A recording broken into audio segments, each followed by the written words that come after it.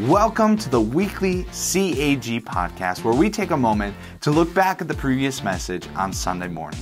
If you haven't done so already, download the CAG app. The CAG app is available wherever apps are available. So take a moment and download that. And if you haven't done so, also take a look at our website. Our website is charlotteag.org. Both our app and our website are a great place to go back, watch previous messages, watch previous services. You can also watch our live stream from both platforms. So I encourage you take a look, download the CAG app. It is a great tool to stay connected with the church and also to grow deeper in your relationship with Christ. Well, without further ado, let's grab a cup of coffee, maybe a notepad, and enjoy this message from this previous week as we dig deeper into Christ and what He is doing in our lives. I'm going to have you turn your Bibles to Hosea chapter 2, verse 14. So, Hosea chapter 2, verse 14. If you could turn there, and when you get there, just let me know by saying amen.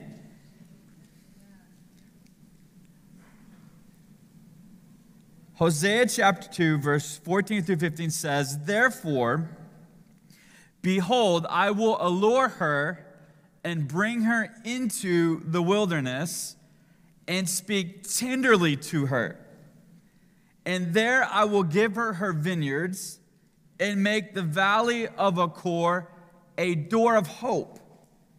And there she shall answer as in the days of her youth, as at the time when she came out of the land of Egypt. Let's pray. Father, we love you and we give you the glory and we give you the honor this morning. Holy Spirit, I pray that you would just help me to communicate your word. I confess I'm 100% dependent upon you. There's nothing I can do on my own accord, but Lord, I'm leaning into you and I'm trusting you. Lord, I pray that you would give us ears to hear, eyes to see, and a heart that would perceive all that you have for us in your precious name. And all God's people said, all God's people said, are we good with live stream, Gabe? Do you know? We're good? No. Okay, that's just all I want to know. Just want to know who I'm talking to this morning. We're good now. All right, welcome to all those on live stream. So we are on live stream? All right, I can't see that far and I have glasses on. I learned a long time ago that one of the most crucial jobs of leadership is to define the current reality. Let me say that again. I, defined, I defined, let me start all over. Can't even get my words out. I learned a long time ago from a great mentor that leadership defines the current reality. There's a part of leadership, part of our personality when we lead, is we want to be optimistic. We want to sprinkle sugar on top of it, and we want people to know that everything's okay.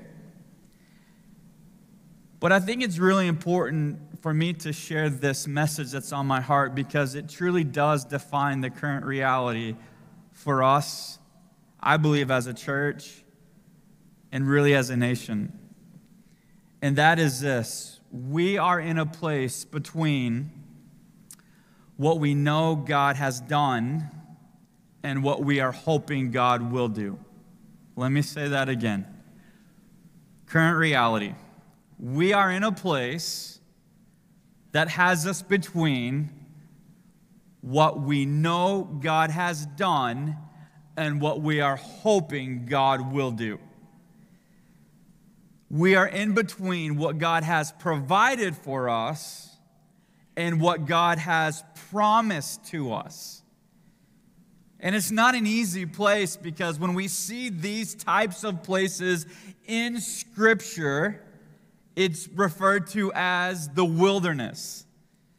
Now, look, every leader wants to be Joshua that leads the children of Israel into promised land. Every leader wants to be the John the Baptist making the way for Jesus, right? But the truth is, for every Joshua, there is a Moses that leads the people through the wilderness. And for every John the Baptist, there's a Jeremiah that leads the people through exile.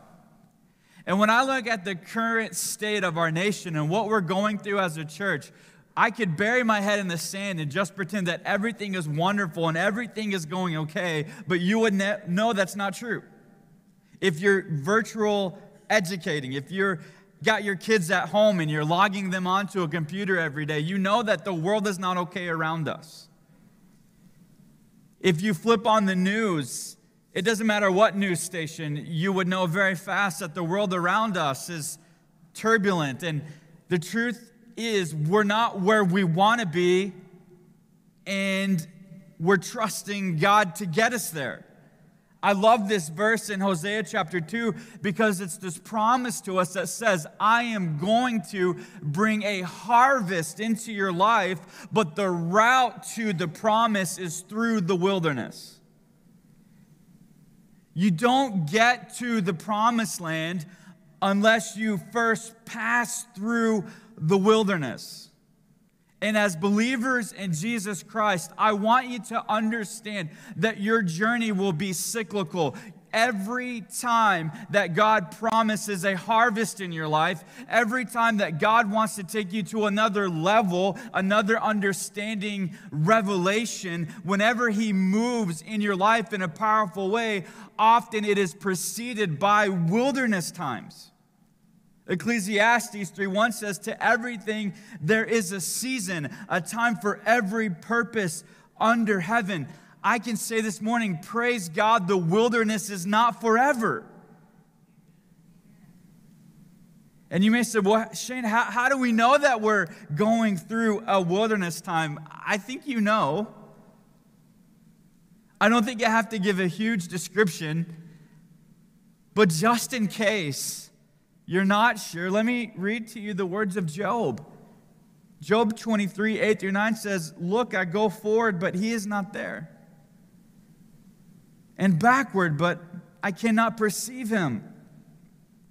When he works on the left hand, I cannot behold him. And when he turns to the right, I cannot see him. Do you realize that there are moments in our faith journey where it seems like God is not working? And we look to the left and we can't see him there, and we look to the right and we can't see him there. And there are wilderness seasons that we will all go through where it seems dry and extra difficult, and we think to ourselves in moments of prayer and in moments of desperation, we think, God, where are you? Why aren't you working? Why aren't you doing the things that I know that you can do? God, show up in my life. And we cry out those prayers only to hear silence. Ever been through a season like that before? And I want to tell you this morning, with a big smile on my face, that everything is going to be okay. But there is a whole generation of Israelites that witnessed the power of God only to die in the wilderness. Many times the wilderness season is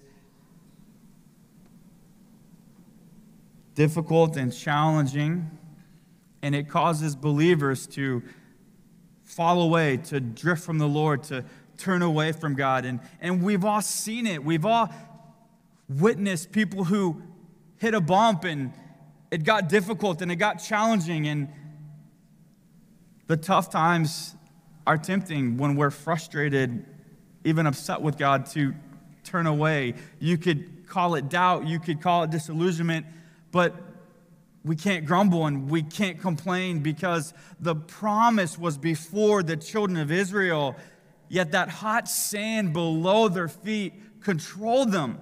And instead of, of receiving God's grace, they were rejected by God's righteousness. And, and that makes me nervous because I recognize that when we go through wilderness times, that God is looking at our response. 2 Peter 2 19 through 21 says, For whatever overcomes a person, to that he is enslaved. For if after that they have escaped the defilements of the world through the knowledge of our Lord and Savior Jesus Christ, they are again entangled in them and overcome. The last has become worse for them than the first. For it would have been better for them never to have known the way of righteousness than after knowing it turned back from the holy commandment delivered to them. I, I read verses like this that are spoken to the church, and it causes me to pause because I recognize that there are seasons that we can go through that are so tough and so challenging that there is a temptation for us to not press into the things of God, but there's a temptation for us to turn back and, and go back to what we know and what is comfortable and what is familiar. And, and I just want to encourage you with this. When we go through wilderness times, and if you're not in one, you'll go through one when that temptation to turn back is so real and, and so tangible, we have to remind ourselves that we can't turn back, that we have to keep moving forward. And when I say the best is yet to come, I believe that the best is yet to come for the people of God.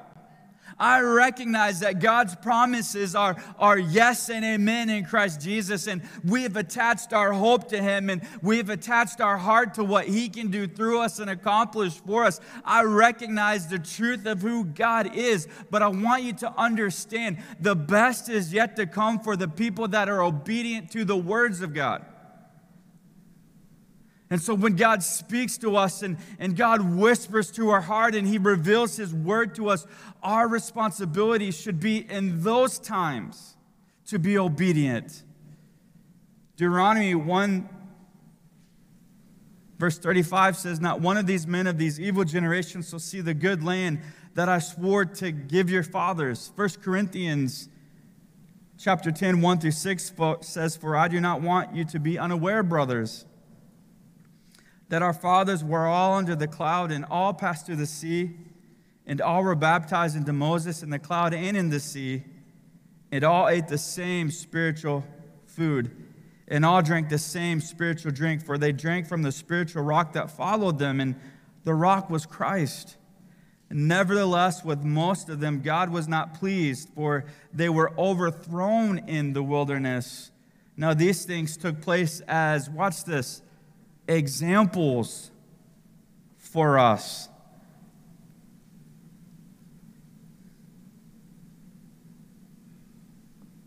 The generation that was delivered out of Egypt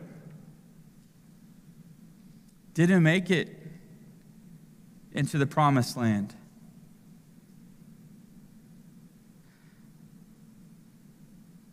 And scripture tells us that this serves as an example to us as believers.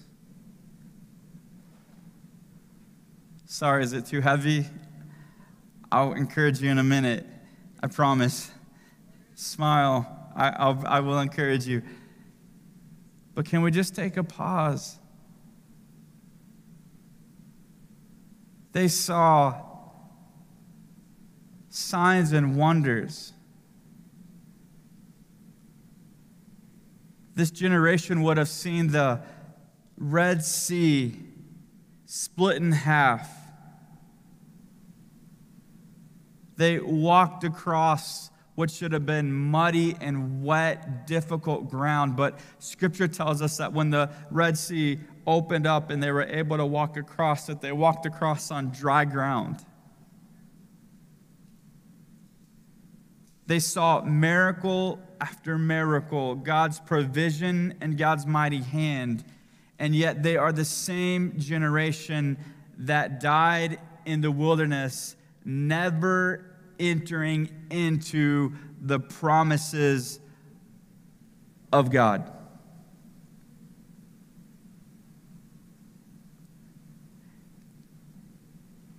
And do you know what defeated them? Not their enemies. The enemies of God didn't destroy them. In fact, if we look at Scripture, when the children of Israel are traveling through the wilderness, they were harassed by other nations, outside forces. And, and scripture tells us in Numbers 21, 21 through 25 that the children of Israel defeated the Amorites. It tells us in Numbers 31 that they defeated the Midianites. It, it tells us in Numbers chapter 21 that the people of Bashan, all of these people, these other nations, these outside forces, they were defeated because God's desire was not for them to be defeated in the wilderness. And so God gave them victory over all of their enemies. The problem with the children of Israel when they were in the wilderness was not some outside enemy because God's intent was to bring them through. The problem was inside.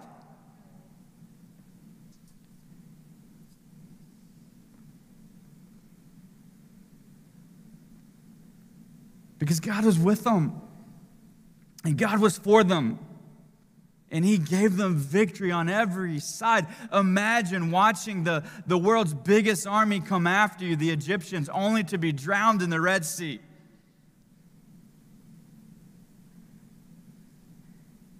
And so when I read Hosea chapter 2, 14 through 15, it says, Therefore, behold, I will allure her and bring her into the wilderness and speak tenderly to her, and there I will give her her vineyards and make the valley of Achor a door of hope. This actually encourages me because I recognize that the wilderness is not God's disapproval, but it is meant for His development. That when God wants to prepare us and to work in us and do something unique in our lives, in our heart, in our church, in our community, that He oftentimes will lure us into the wilderness first. And we have to know that God will use the wilderness, the difficult times, the challenging times, the dry times. He uses them as preparation for us for the greater things that He wants to do in our life. The wilderness is that season when we are in between what God has provided for us and what He has promised. And my encouragement to you this morning is this, and I'm encouraging myself as well, is that we do not grow weary in doing good, but in due season we know that we will reap a harvest if we don't give up.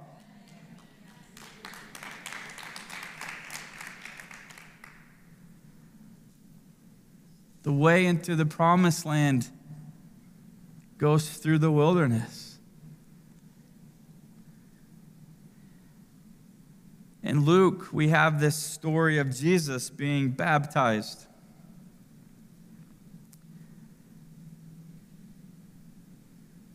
It's miraculous.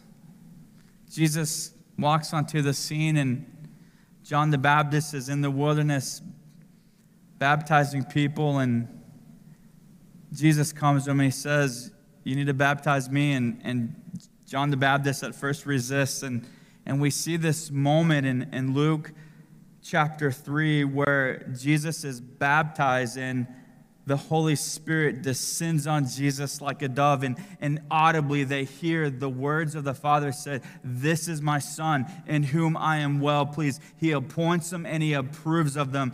And then the next verse we see is the Spirit of God drawing Jesus into the wilderness.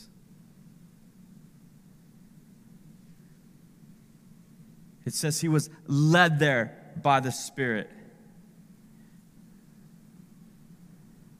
Think about that for a minute. This, this amazing moment in Jesus' life, only to be led into the wilderness. See, God leads us into the wilderness not to abandon us, not to leave us or forsake us. Can I tell you that when you go through wilderness times, God is not forgetting about you? In fact, He brings you into the wilderness to do His best work in you. And I want you to be encouraged with this truth, even in times where we can't perceive what He's doing. We can trust His word that says He is working in us. And do you know that the wilderness, according to Hosea chapter 2, is, is not a dead end? It's actually a door. And scripture says it's a door of hope. It's the beginning of a harvest. Every farmer has a moment where they take the seed and they smash it into the ground and they cover it with the dirt. And it's this moment where they look around and they can't see any vegetation. Yet, in time, it brings a harvest. I think one of the greatest uses of wilderness season is it causes our hearts to be tilled up and to be soft and pliable again for the seed of God's word. Ezekiel chapter 36, verse 26 says, And I will give you a new heart and a new spirit, and I will put within you, and I will remove the heart of stone from your flesh and give you a heart of flesh. The wilderness is used by God to work deeply in us. And it's when we go through seasons that are dry and difficult, when we're in between His provision and His promise, it's in those seasons that God will begin to test our hearts. And He reveals to us what we're relying on instead of relying on Him. And those dry seasons have the ability to begin to break up that hard ground of our heart. And so the way to the promised land is through the wilderness. because the wilderness is truly for our benefit and not our detriment. But I know that when we go through difficult times as believers, it's really important that we recognize that God is with us and for us, and He's doing something unique within us. And there's a temptation to turn back and to stop short and to be frustrated. I heard this a long time ago. I think it's fairly true. The teacher is always the quietest during the test.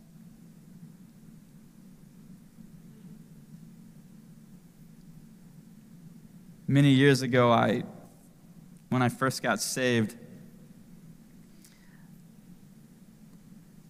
had a powerful salvation story God was just so real to me, so evident. I felt like every time that I prayed a prayer, God would answer it right away, even a parking spot. Just thought, God, give me the best parking spot, and, and boom, there it was. It, it, seemed like every time that I would open up my Bible, it didn't seem like it was true. Every time I opened up my Bible, there was like this fresh word, this fresh promise that spoke directly to my heart. God just was working and moving and directing and guiding, and it was one of the most incredible seasons of my life. In fact, from the time I was 17 to I was about 20 years old, God was just, it's like the heavens were open, pouring over me. And then I walked into a season where without any notice. I didn't get an email, I didn't get a text message. It just felt like God was gone. I couldn't feel his presence.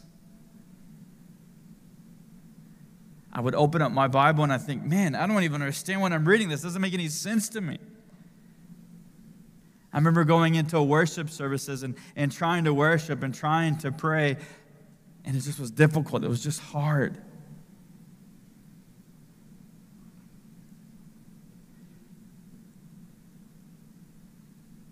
And one month passed, two months, three months. God, where are you?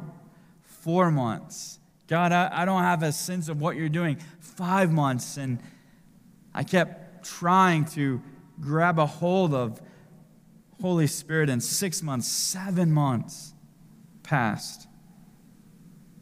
And finally, after seven months, I was in a chapel service and there was one of our professors had a prophetic word, and I remember her delivering that prophetic word. I remember thinking, God, I, I don't really believe that's for me. That's probably for everybody else. That's probably not for me.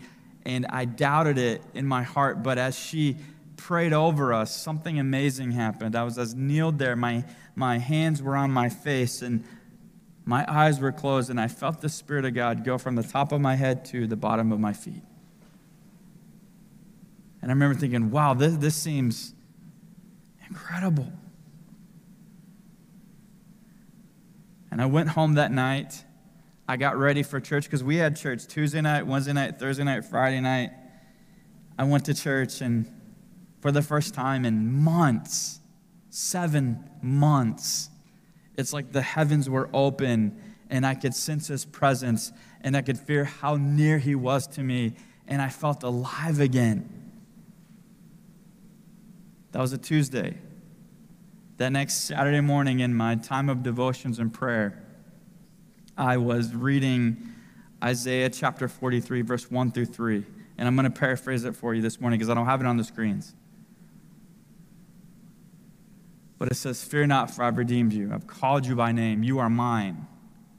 And when you pass through the waters, you won't be overwhelmed. And when you walk through the fires, you will not be burned. And I thought, wow, that's a really encouraging verse. And I felt like Holy Spirit said, go ahead, read it again. And I read it for the second time. And, and the second time I read through the verse, I thought, wow, this is really encouraging. I really appreciate what's being communicated. And then I heard Holy Spirit say, read that another time. And I read it for the third time, the part about where I don't have to be afraid that He'd redeem me and that when I walk through the fires, I won't be burned. And when I walk through the waters, I wouldn't be swept away. And when I read it that third time, there was this revelation and this understanding of how much God was with me and for me. And I began to cry there in my little room in my apartment because in that moment I recognized that all of those months where it was dry and difficult and I couldn't perceive what God was doing, all of that time God was with me.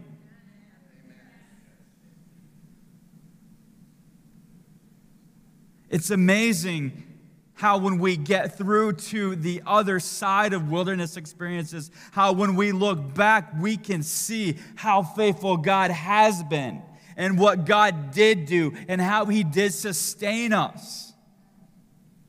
And so I want you to be encouraged this morning by Jeremy Davis coming up here right now. I want you to be encouraged because I recognize if you're watching at home, if you're sitting in the room, has anybody ever gone through anything like this before?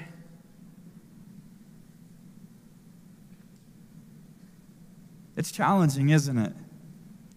Nobody says, okay, November 22nd, it's going to be the beginning of a wilderness season for my life.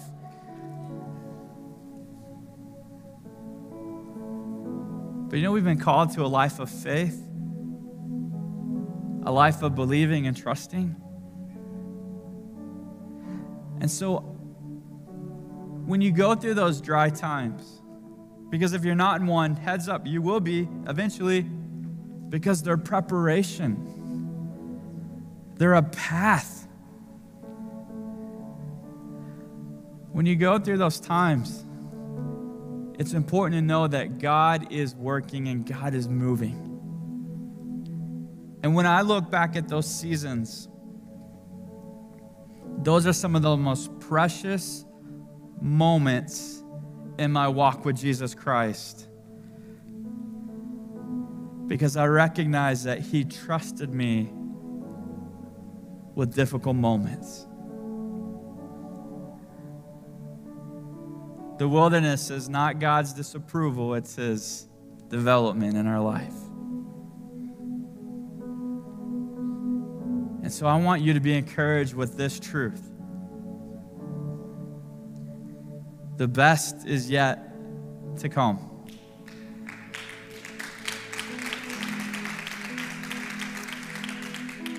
The promises of God for your life remain. And he who promises is faithful. Amen. So, this is how I want to close. I want you to stand all across the room. If you can join us at home, and Jeremy's going to sing this Waymaker. And I want you just to begin to worship and to praise and to give God glory and God honor because He is leading us through to all of His promises that are yes and amen. Amen. Come on, let's worship God. Let's give God praise. You are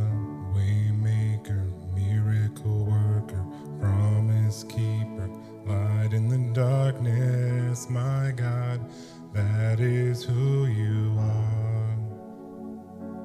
You are waymaker, miracle worker, promise keeper, light in the darkness, my God, that is who you are. Oh, that is who you are. That is who you are. That is who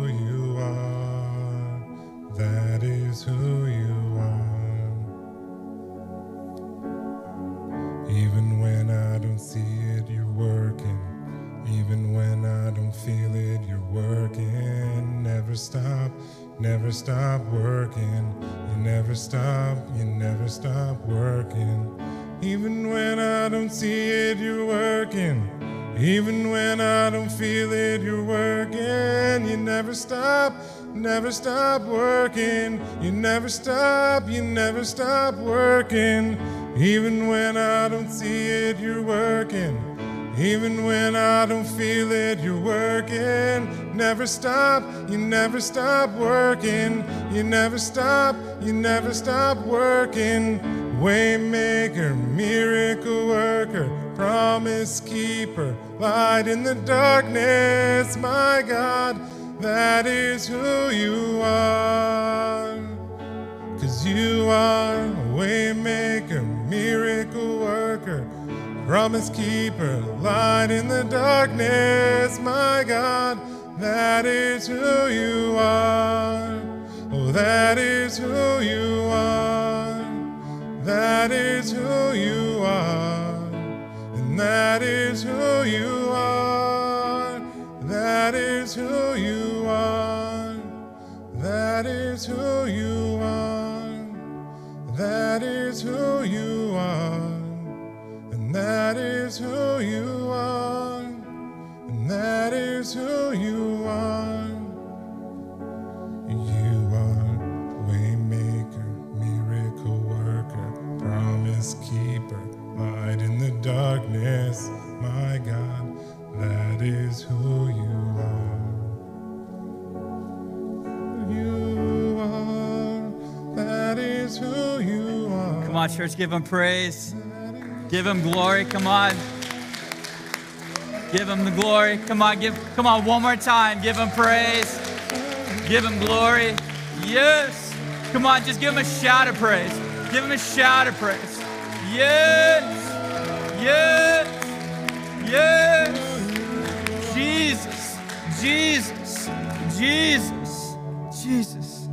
So here it is. Current reality. It feels like a wilderness, but there's hope because we know that the wilderness is the route to the promises of God. Amen? Let me pray a prayer of blessing over you, but before I do that, let me ask you this question Do you have a relationship with Jesus Christ? Because scripture tells us that there is no other way to heaven but through Jesus, that He's the way, the truth, and the life. And so you could be in the room, you could be watching this morning, and you're not for sure that if this was your last day, that heaven would be your home. I want you to have that assurance of Jesus. So we're going to pray this prayer together. You ready? Dear Jesus, forgive me for all that I've done that you call sin. Wash me, cleanse me, and make me brand new. I give you my heart. I give you my life. Be my Lord. Be my Savior. And my very best friend. In your precious name. Amen and amen. Come on, give God praise. Give God praise. Yes. All of heaven is rejoicing. Scripture tells us that your name is written in the Lamb's book of life.